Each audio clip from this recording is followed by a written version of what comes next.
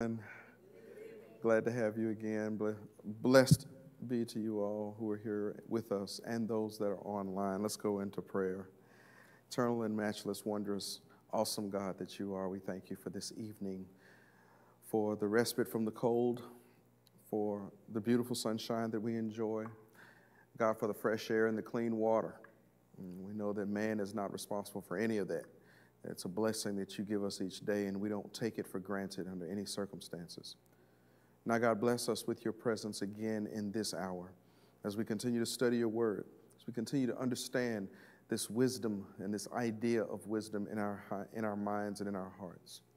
Bless those who are continuing to mourn on this day. Bless those who are in hospital rooms and convalescent wards and God in rehab trying to get back to normal look in on those who are not quite there yet, but God just didn't feel good for whatever reason today. And then God bless those of us who think that we're doing well because we're all sick enough to meet you at any moment. So we thank you for blessing us with another breath and another time and another place of life. It's in the name of Jesus that we do say this prayer. Amen. Amen. All right.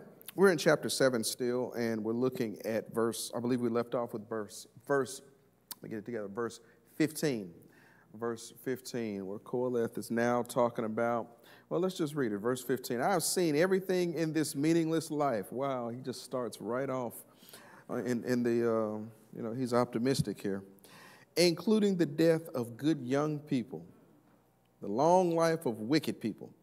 So don't be too good or too wise. Why destroy yourself? On the other hand, don't be too wicked either. Don't be a fool. Why die before your time? Pay attention to these instructions, for anyone who fears God will avoid these both extremes. Well, let's look at this. The writer seems to think that he has seen the righteous suffer and the wicked prosper, which would be a direct refutation of Psalm 37 25. Once I was old, I was young, now I'm old, yet I've never seen the godly abandoned or their children begging bread. Um, for those of you that are King James, you know, I was once old, now I was once young, now I'm old, but there I've never seen the righteous forsaken or the, his seed begging bread. That's that one. Have we seen the righteous forsaken under any circumstances? And we can be honest. We've seen some folks suffer. Not necessarily, and, and here's the thing, and, and I have to, I'm going to curl my comments because I don't want to give too much away for the sermon for Sunday. That's the, that's the danger of working on sermon and working on Bible study at the same time. I, I tend to bring that stuff in, and I don't want to all the time. But we don't know who is really righteous, do we? We don't. And Jesus makes that distinction when he's talking about the Sermon on the Mount and the fruit that they bear, et cetera, et cetera. Um, and, and, let's just go and get it out there. He says, everybody that says, Lord, Lord, will not enter into the kingdom of heaven. That's what the text is for Sunday. So now that you know. Just let your mind start to wander. Uh, but we have seen situations where people have been godly, at least from our appearances, but yet they have suffered for whatever reason. And I'm not talking about financial suffering all the time, I'm talking about just suffering, just for whatever reason. And Koheleth seems to say that even in all of that, even in all of that, he's seen the righteous forsaken. You know, I wonder all the time why did God have to take Luther Vandross and leave some of these other folks? I'm, I'm just wondering why in the world did Teddy P have to get crippled and leave here? And some of these other folks who can't sing a note still around here, gang banging. They can't carry a tune in a bucket. Not to say that their life is any less. I'm just saying, just given a choice of who could contribute more, you know. I'm, I'm just saying, no, don't, no, don't y'all come at me. Don't, don't come at me. I got my book tonight, and I'm going to explain what that means. Don't come at me. Don't come for me tonight. Yeah, God, God wants good stuff too. And it might be their contribution was not in that arena like we think it should be, but their contribution is in something else that we didn't even see, we didn't even know of. Um, I was watching something. I'm always watching, catching stuff at the tail end. And I was watching this interview with Pat Morita, um, you know, the Karate Kid, uh, Mr. Miyagi. And he said that uh, he met Redd Foxx before he was Mr. Me, before Pat Morita was famous. he met Redd Foxx. And he was telling Redd Foxx that he was trying to buy a house, and lo and behold, he get down the last three or four days, and he was $3,500 short. And he went to Redd Foxx and he was talking to him, and he said, You know, I just need a loan. If you can just give me a loan. He says, and, and he did, if you can find it online, if I find it online again, I'll, I'll share it with y'all. But he did the perfect Redd Foxx imitation with his voice. But he basically said, Redd Foxx snapped his finger, and the lady went back, got his checkbook. He came back and he wrote a check, and it says, I believe in you, and I believe that you're going places. So here's $3,500. Don't give it back to me, pay it forward. And Pat Morita said, I've done that over and over and over again, 35, 5,000 times uh, not five, $3,500 here, $5,000 here, and I've never asked for it back, but I've always given it because somebody poured into him, you know. And just think about that. When you do something or somebody does something for you and says, don't pay me, pay it forward, how many of us will actually do that? And that's doing the right thing because when you ask for it and somebody is giving it to you, while you don't owe them, you owe God. And God is telling you to do the right thing and pay it forward. So here he's saying, verse 16 and 17, avoid the extremes. You can be too stingy or you can be too free hearted. Don't be either or. Get right in the groove. Stay right in the groove. Don't go to the left, don't go to the right. Stay right there in the groove. If you're too tight with your, with your fist, nothing gets in, nothing's able to come out. If you're too loose, you don't have anything. Everybody comes and takes it away from you. You can't, and you wonder why in the world do I never have anything? Because you give it all away. And there's nothing wrong with giving stuff away. Don't get me wrong. Don't be a fool, as my mom used to say. Because everybody, you hit, hit the lottery and find out how many cousins you got. I promise you. Verse 18 The fear of God brings balance and piety, which is a better way to go. What's piety?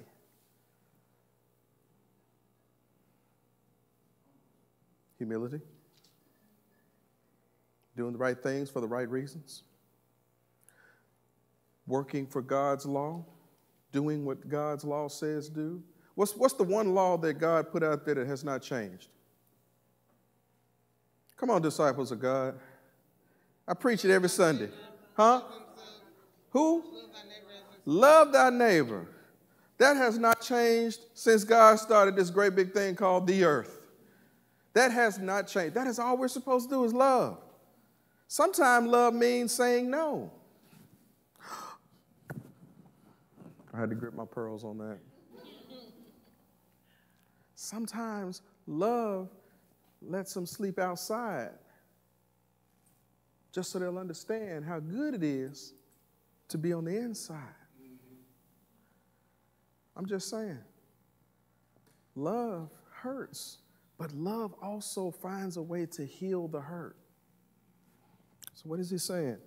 Fear of God brings balance. If you do the God stuff, the Jesus stuff, the stuff that the Holy Spirit tells us to do, you'll never get too far left or too far right. You'll always be in that zone where God can still control and manipulate the situation.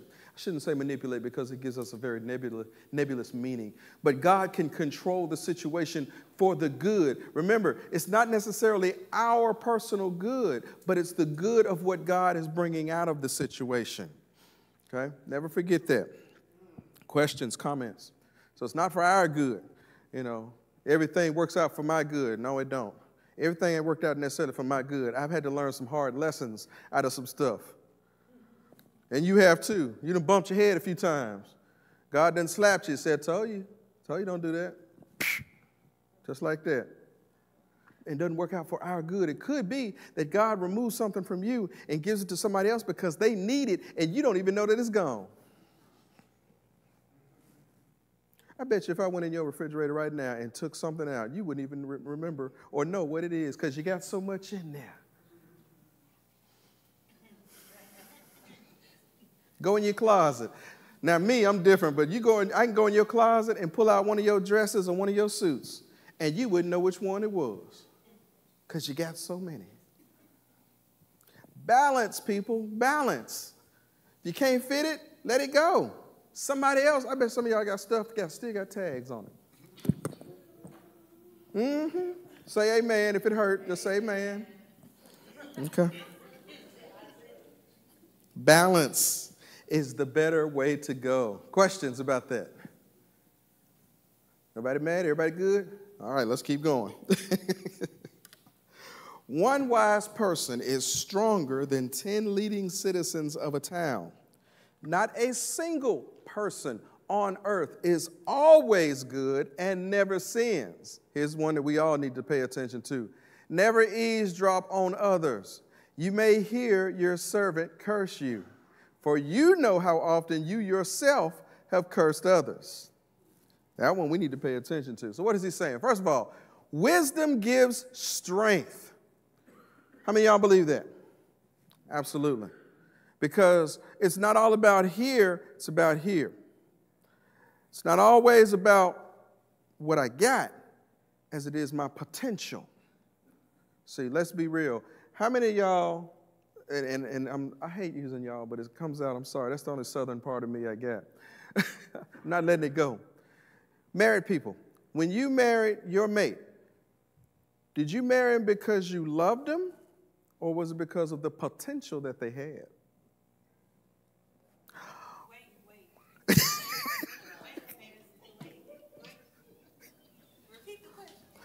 Did you marry your mate? This primarily for the guys. Did you marry your mate because you loved them or because of the potential that they had? Both. Loved them and saw the potential. Very diplomatic way out. Yeah. That's why I had to repeat it. Yeah. It's, it's okay. We're not going to release the tape to y'all spouses, I, I promise. Yeah. I'm, I'm going to flip it on you. I married out of potential. I married out of potential because I knew the things that I wanted to accomplish in life, but I also knew that this person that I was going to marry had things that they wanted to accomplish in life. And I knew if we could put those things together, we could have a very good life. Because I don't care what you say. When poverty walk in front door, love jump out the window. Amen? Amen? No romance without finance. I knew somebody said, yep. Yeah. Now, we can sit and be poor and eat bologna together. Like beans and bologna. Some of y'all done seen that meme, you know, the brother on there, come on home, I got beans and bologna. If you ain't, I'll send you that one too. But let's be real. When you marry, you marry somebody that compliments you and is going where you're going and is working with you and you working with them to accomplish a bigger goal. Because it's about having kids. Kids cost money. They're expensive. Amen. Houses and cars and all this stuff that you kind of sort of need when, you, when you're building a family. So, how does this relate? Wisdom tells you don't get with somebody who looks good and is an airhead. Don't get with somebody who is, has a PhD in gaming unless they're making the game. All right? Ladies, I'm talking to y'all who are a little younger. I'm just being real. Don't get with somebody who has nothing to bring to the table. No, I can't say that in the church. I almost said the Nicki Minaj song. I'm just being real. I'm just being real. Have something other than a bright smile to bring to the table. You know? Yeah. I'm going to leave that alone because I almost slipped. Verse 21, bring that up for me. Verse 21 Do not heed to everything people say Oh, we have a problem with this. We hear one thing and we are cocked to the ticked off position. We walk around with it locked and loaded and, and we're just pointing. Who, who is it going to be today? Everything that's said, that now y'all do know that everybody's mouth cuts like this, right? Which means everybody has the potential to lie. I'm sorry, I shouldn't say lie. It's a harsh word. My mom told me not to say lie. Misplace the truth. How's that? Does that make you feel a little better? Now, if I meet somebody and their lips are cut this way, then I'm to trust with everything they say because I've never seen anybody whose lips go like this. But everybody else that. Uh, here's one. Believe what? Half of what you what half of what you see and none of that you hear. Trust but verify. Trust but verify. That's how we get caught up. We trust what somebody says. That's how cults work. People trust what that person is saying. And they're coming out of a Bible and they're coming out with their version, which is a perverted, twisted version, and all of a sudden, they gone. They are simply gone on a lie. So believe half of what you see, none of that you hear. And we're talking about rumors, we're talking about innuendo. When somebody, break my book out. This is uh, historically black phrases. Give y'all this one because I saw it today and I felt like. This one is when someone says, What had happened was, give you the definition, it says, I'm about to lie. It's used as a way to fill space while words and buying time for the speaker to organize the lie before telling it. It is also a sarcastic way to begin a statement that is potentially intended to be understood as untrue or factually flimsy. In other words, when Marcus arrived home two hours after he said he'd be there, Angela, having proof that he was cheating, asked him why he was late.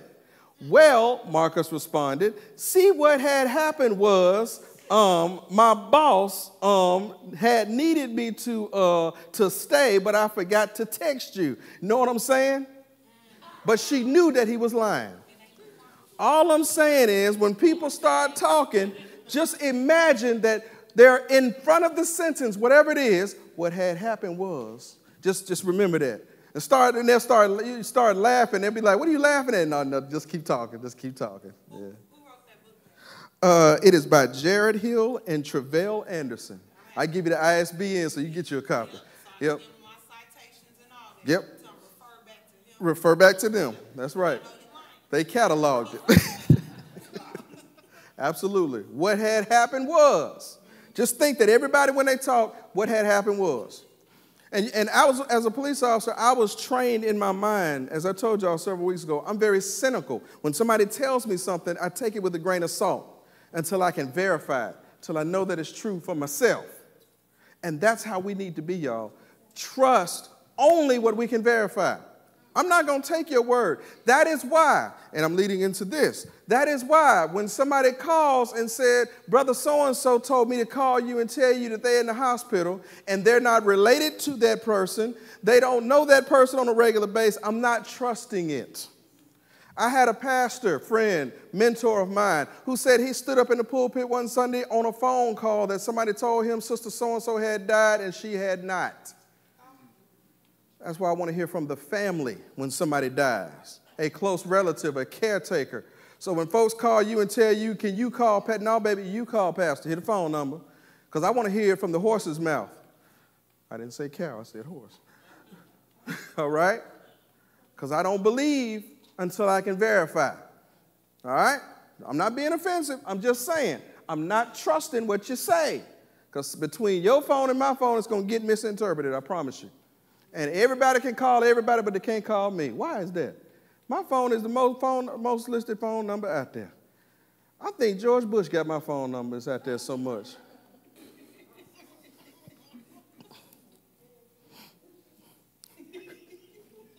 it's probably on the internet. Servant, go back to that for me, Darius. Servant is translated as subordinate. We all have some subordinates, whether they be children or whether they be people who work for us. Understand, he's actually pushing for grace in an era of law because he's living in an era where law, Jesus had not come, so grace was not a thing.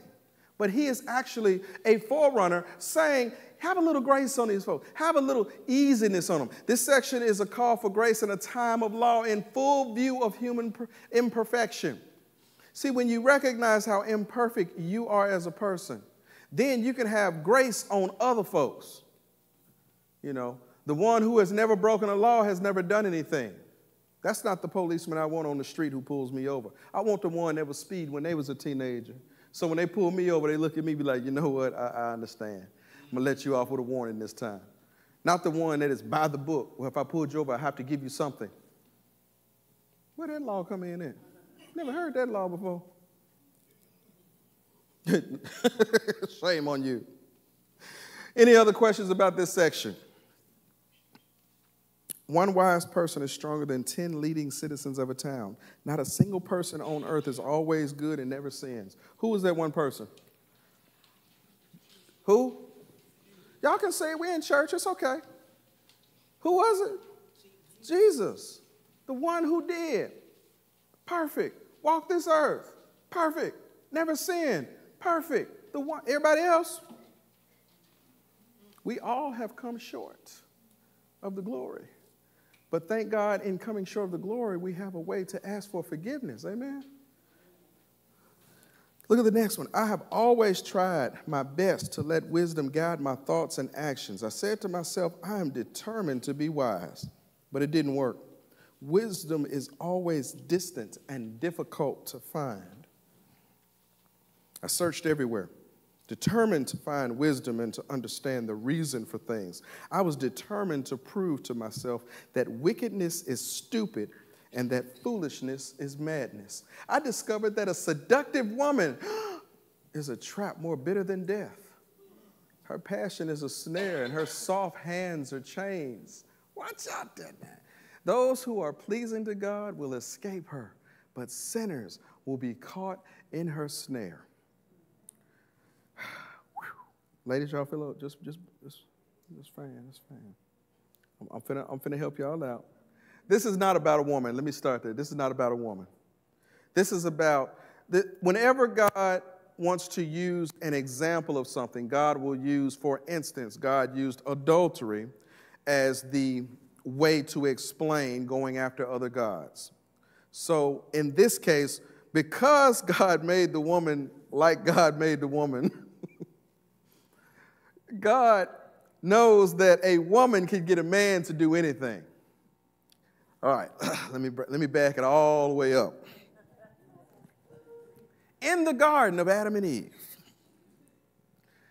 the only way to get to Adam was through Eve. Satan knew if I can get the woman to buy in, the man is going to follow suit. And that is still true today if you get the woman, if you get the wife, you got the man. Because if a man truly loves his wife, his woman, his whomever, that's going to be the one, that's going to be his soft spot. It's like a baby's head's got a soft spot. That's the man's soft spot, however you look at it. So God knows, like he says here, Qoheleth, I discovered that a seductive woman is a trap more bitter than death. He's not so much talking about a seductive woman as he is the snares that come with misplaced wisdom. Wisdom in the Greek vernacular is called a feminine gendered word. Now, I'm, let me break this down to Greek words have gender, but not like we think we, they have gender. They're not male, female, but it's called feminine and masculine and neuter. Feminine words produce something. So wisdom produces something. Okay? The, the, the, the feminine word, the word that is used for mother is a feminine word, whereas woman is neuter. Because mother produces something, but a woman is seen as being just neuter, just simple, just by herself. All right, y'all, y'all good? Didn't get too deep there, did I? Okay. So now what he is doing, he's using wisdom as a litmus test for all things. Wisdom is the standard by which he will look at everything in the world. The reality is, pop that up for me, uh, Darius. The reality is, is wisdom is, un, is inaccessible. You can't get it. You can't just go out and find some wisdom. I was talking to a group today and I said, Y'all understand, you can gain knowledge, and through knowledge comes wisdom. But you can't just go get wisdom without knowledge because wisdom has to have something to work on. If you have no knowledge, you can't be wise because you don't know nothing.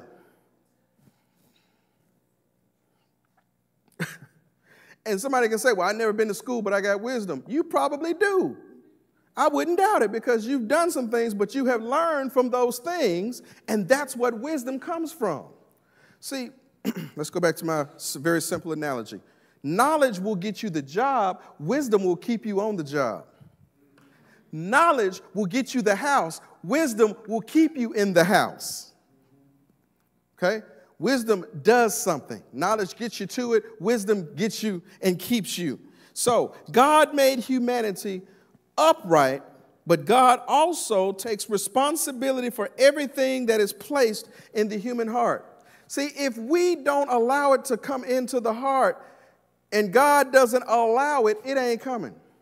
Do you ever notice that some things you just can't retain for nothing? Because God don't need it in you. God knows that there's a problem if it gets in you. And it's going to be and it's going to corrupt you possibly. Or it's just useless information God don't want you to have it. So everything that goes into your heart, God controls. See, we have to understand God is still the doorkeeper of our heart. I don't care what Gladys Knight said. You know, you're the landlord and the keeper of our love. Oh, never mind, never mind. Okay. Y'all got to catch up on y'all's R&B if y'all to. One in 1,000 men and no women shows the misogyny of the writer or preference of men over women.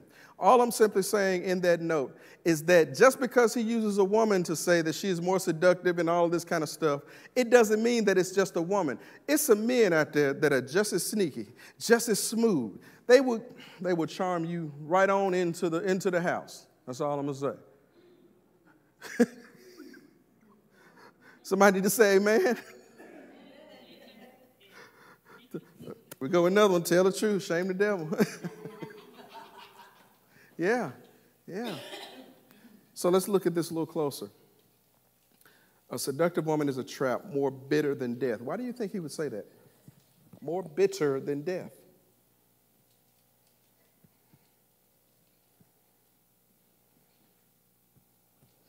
Come on. Hmm? It's peaceful. At least with death, you got God. But with this woman who is luring a trap and bitter in the trap, let me see how I can phrase this. You got to live with that. And when you got to live with something, it's more painful, or it seems more painful than death. You know, worst thing that you could do in high school was to see your ex girlfriend, ex boyfriend with a new boyfriend, new girlfriend. That was a pain bitter than death, more bitter than death. Amen. Oh, come on, y'all act like y'all just been holy, sanctified, and just, I'm just good, Rev. I ain't never, when I left him, he was done. After you went through that box of chocolate, that carton, that carton of ice cream, and all them love songs, yeah, he was, he was history then. I know him right. I had a sister. I got a sister. So her passion is a snare.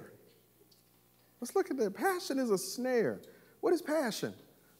We're adults, but what is passion? Come on. Is it the feeling or is it the action? Passion. Huh? Craving, a desire. I like that desire. Yeah. So, what does that mean? That her passion is a snare. Is it looking that good that you want it and you'll give up anything to get it? And why does he put it in the context of trying to search for wisdom? Go ahead. I'm thinking of passion as a snare, as our thought process before the action. I like that. She says the thought process before the action is the snare, correct? Did I sum it up right? Yeah. Thought process. That R&B, I got to go back to them. Is it the Bar-Kays? Bar-Kay? No, it wasn't the Bar-Kays. The song was Anticipation. Anybody remember Anticipation? I can't think of Anticipation. Yeah, yeah, that one. Who was that? Yeah. Huh? No, that wasn't Carly Simon. That wasn't Carly. I'm talking about the black version of Anticipation. anyway, her It's, it, i want to say it was the Bar-Kays, but I don't think, I don't know if it was. I thought it was. Okay, it's the Bar-Kays. So, anticipation is more daunting, more pointed. What's the word I want to use? I'm, I'm lost here. A lot of times, anticipation is greater than the act itself. Think about when you wanted to go on vacation as a child, and y'all finally going to make that great big trip from Minneapolis to St. Paul.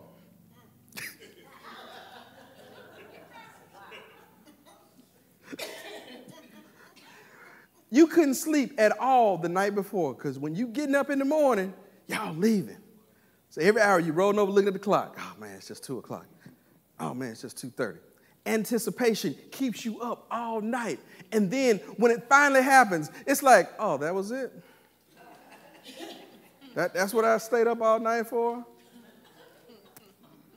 So that's what he's talking about here. The anticipation, possibly, of gaining wisdom, is, it keeps you up at night. It keeps you rolling, keeps you running. Another Doobie Brothers song. Songs keep popping in my head tonight. And her soft hands are chains it traps you. Think about chains. Now, handcuffs, that's a wonderful invention because it made some comfort to the prisoner. But think about when they put chains around their wrist and the kind of damage that it did and the pain that it caused. So, therefore, you've got this pleasure and you've got this pain working together for wisdom. Didn't see that, did you? Pleasure, the anticipation, the excitement, and then you've got this other side with these chains so, wisdom is a combination of both the good and the bad. If you don't have rain and sun, you can't get wisdom out of the knowledge that you've got. Watch out, Holy Spirit. Takes it both. Those who are pleasing to God will escape her, but sinners will be caught in her snare. God is still protecting, even though we're letting ourselves fall into it. God is still right there saying, Oh, nope, not going to let you fall for that one. Phone rings at a certain time it rains, anything. You think it's happenstance. That's God saying, Oh, I'm, I'm going to save you from that because I don't want you to have that. You don't need that. That ain't what you want. Ready? All good? Let's go to the last one. This is my conclusion. And that's perfect because we're going to stop at chapter 8. This is my conclusion, says the teacher. I discovered this after looking at the matter from every possible angle. Angle. Okay, so now he is coming to a conclusion.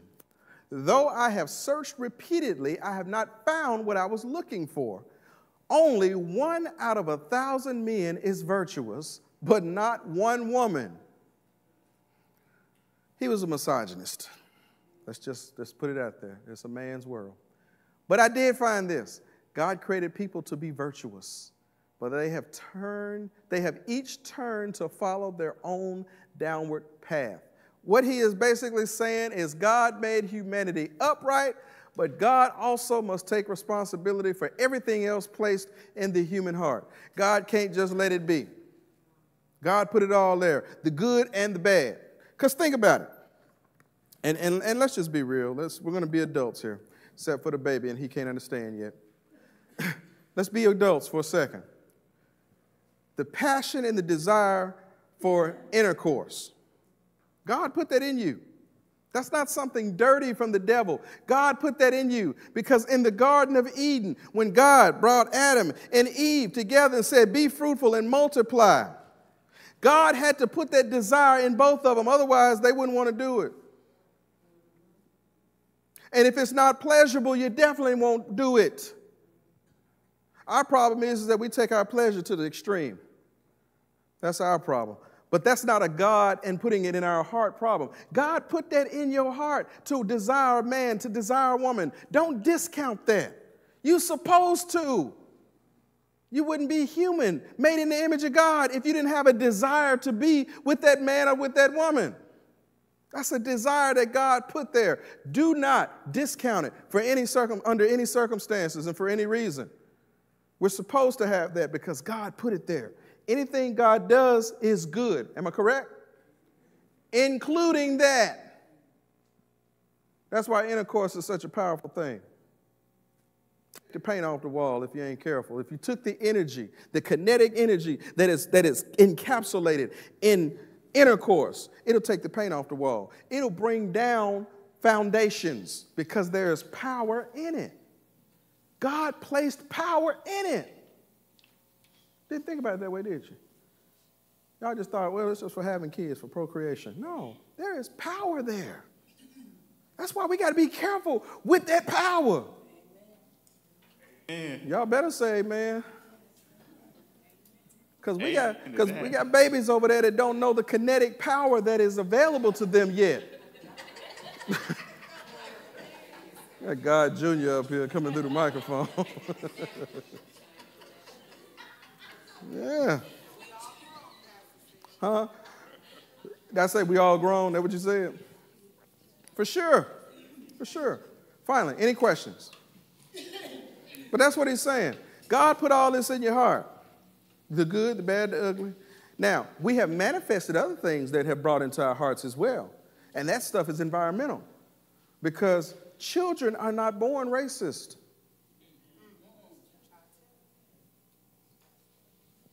They are groomed to be that.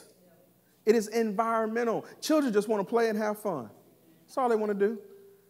And yet we bring them home and tell them, well, you know, they don't look like us, so you can't really play with them, but you can play with them. What make them better than them? See, that's the kind of stuff that we start putting in our children's hearts that God just shake his head and say, you know what? I ain't even do that. I sometimes think that God looks down and just goes, gave y'all too much sense. We got to be careful. That's why this environment is so important. This place that we call church, this thing that we call ministry, it's so important because we can kind of undo some of the poison that's been poured into people. We can kind of put them on an IV and get them on the new, on the, on the good stuff instead of the bad stuff that the world's been giving them all this time. Okay? Questions, comments? All right, so when I close out tonight, I figure I better give y'all one. I didn't mean to give it the other one, but I'm going to give you one. This is from the church section of the book. That's the ones that I'm going to give you. So there's the definition of casket sharp. Y'all ready for this one? Impeccably dressed or well put together. A phrase to express being impressed with someone's wardrobe, grooming, and or styling, derived from the idea that someone's burial attire is some of the best clothing they will ever likely wear, but on that occasion. uh, an example, dressed in a brand new suit and looking good for his graduation, Juwan walked into the room and his grandfather said to him, Boy, you looking casket clean and sharp. I like that suit. So now you can correctly use the phrase casket sharp. See, it's an educational thing. All right. Uh, let's see. Next week we'll start with chapter 8. Again, he makes another turn. And then we'll continue in chapter 8. We're going to, just so you know, so you can plan, the week of Thanksgiving. That Wednesday, we will not be in session for Bible study or Sunday school. We take that entire week off for sabbatical. And then the last two weeks of the year, uh, we'll take off the last week of the year between, I'll let you know that date. But it's the week right before Christmas we take off as well from Bible studies and Sunday schools so that we can all have a break. You know, don't y'all need a break? Amen. Amen. Okay, give me two more weeks and then we can take a break. All right. Let us stand.